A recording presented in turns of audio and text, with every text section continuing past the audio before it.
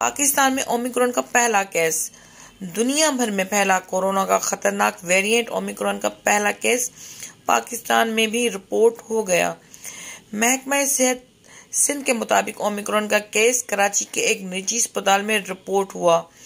महकमा सेहत सिंध के हुकाम का कहना है कि मुतासरा खातून कोरोना पॉजिटिव हैं और उन्हें निजी अस्पताल से घर मुंतकिल कर दिया गया है।